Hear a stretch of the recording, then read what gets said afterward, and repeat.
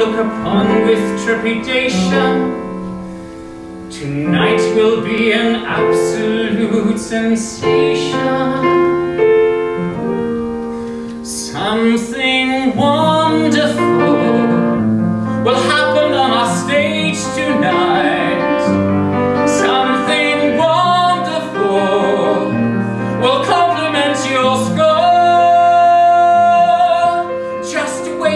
my doubting friend. You'll witness I contend